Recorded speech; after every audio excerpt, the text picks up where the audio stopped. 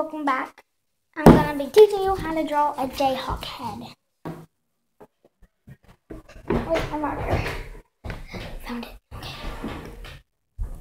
So first what you need to do is you're gonna wanna like draw a line and then a little slant down. Line. Hold on, I messed up. Line slant down, like a curved line, a curved line, and then a slant down.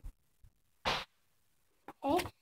Then after you do that, it's kind of like 3D, so you gotta like make a triangle, then make a smaller triangle. Triangle, then smaller triangle. Then get the end of that big triangle and smay and make it go around it and like that.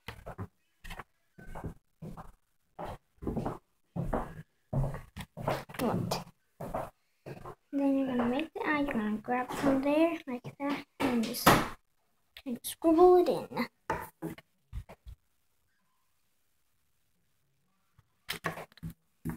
Then to make the eyebrow line down, go over and then over.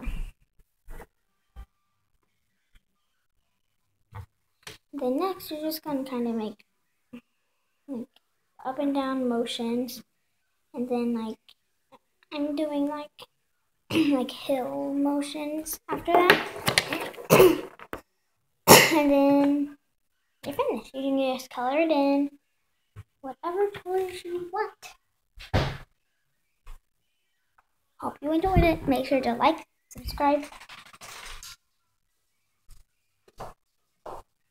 post notifications, and comment down below.